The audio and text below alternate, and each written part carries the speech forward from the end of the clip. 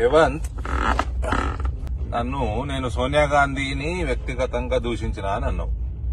ఎక్కడ దూషించినో చూపెట్టు. రెండోది ఈ వీడియో నీకు అంకితం చేస్తున్నా.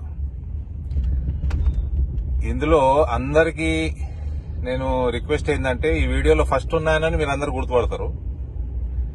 సెకండ్ ఉన్నాయన నా ఫ్రెండు నా చిన్ననాటి మిత్రుడు కాంగ్రెస్ భక్తుడు మా నాన్నగారు ఫాలోవర్.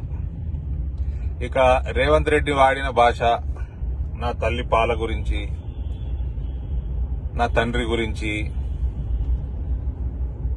ఇవన్నీ కూడా దానికి రేవంత్ రెడ్డికి వదిలేస్తున్నా ప్రజలు నిర్ణయం చేసుకుంటారు.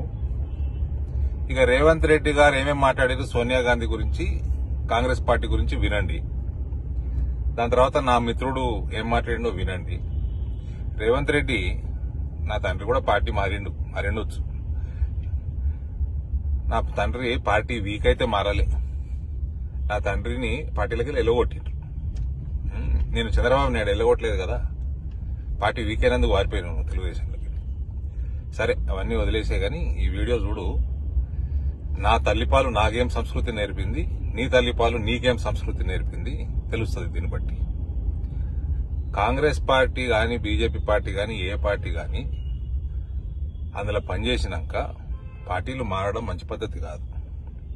నేను నాకు నా లోపల జాతీయతా భావం ఉన్న హిందుత్వం నరనరాలు ఉన్న నరేంద్ర మోదీ గారి నాయకత్వంలో అది ఇంప్లిమెంట్ అవుతుంది దేశంలో అన్న నమ్మకంతో నేను వచ్చిన. నాకు భరోసా పోతే నేను రాజకీయాలు వదిలేస్తాను భారతీయ జనతా పార్టీని వదిలేసి వేరే పార్టీలకు పోను. రాజకీయాలే వదిలేస్తాను నీ లెక్క నాకు స్కాములు చేయాల్సిన అవసరం లేదు సంచులు మోయాల్సిన అవసరం లేదు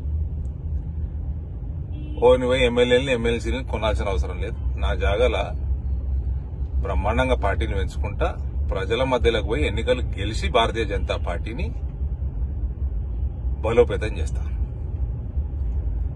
నన్ను ఇంకోసారి వార్డు మెంబర్ గెలో అది గెలో ఇది నీకు దమ్ము ధైర్యం ఉంటే ఇందూరు గడ్డ మీదికి రా. ఎప్పుడు వస్తావు రా. ఇందూరు గడ్డ బిడ్డ బీజేపీ అడ్డ. ఇది ఇప్పటి నుంచి మొదలైంది రెండు వేల పంతొమ్మిదిలా. ఇక జీవితకాలం ఉంటుంది బీజేపీ అడ్డ. ఇక ఈ రేవంత్ రెడ్డి గురించి ఎక్కతక్కెందుకు కానీ ప్రజలు ఈ వీడియోలు జర ఎంజాయ్ చేయండి.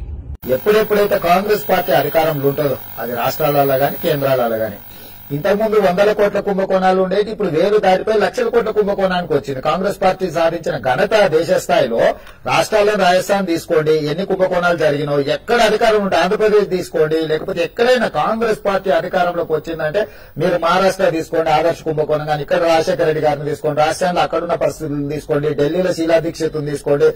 యాజ్టీజ్గా Sonia Gandhi Robert Vadra two G scam లేకపోతే కామన్వెల్త్ కుంభకోణాలు కానీ లేకపోతే ఆదర్శ స్కామ్ కానీ లేకపోతే బొగ్గు కుంభకోణం అంటే ఏ కుంభకోణం తీసినా తరచు చూస్తే అందులో కాంగ్రెస్ పార్టీ నిష్ణాతం అంటే ఇరవై నూట ముప్పై సంవత్సరాల అనుభవాన్ని మొత్తం రంగరించి అవినీతి ఏ రకంగా ప్రజల సొమ్మును ప్రభుత్వ సొమ్మును ఏ రకంగా వేల లక్షల కోట్ల కుంభకో కొలగొట్టవచ్చో కాంగ్రెస్ పార్టీ నుంచి నేర్చుకోవాల్సింది ఇంకెవరైనా. గారికి గుడి కట్టండి బలిదేవత అని చెప్పి ఆమెకు బిరుదు ఇవ్వండి.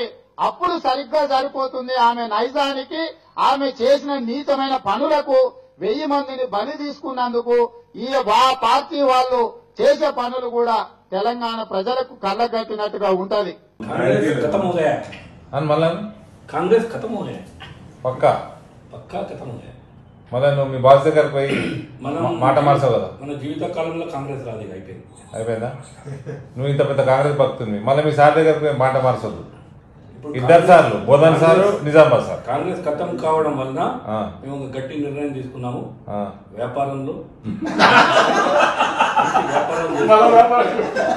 మంచి వ్యాపారం చేసుకోవాలి. నిజాయితీగా బతకాలా?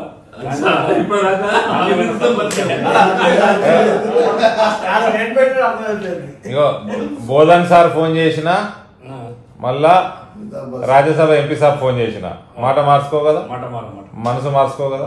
చెప్పు. పక్కా. బ్రహ్మదేవుడు చెప్పినా కాంగ్రెస్ పోయేది లేదు. కాంగ్రెస్ ఏమైంది? ఇక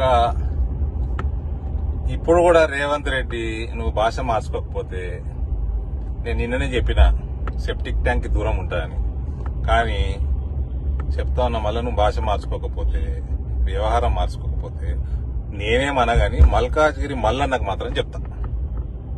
భరత్ మాతాకి జై.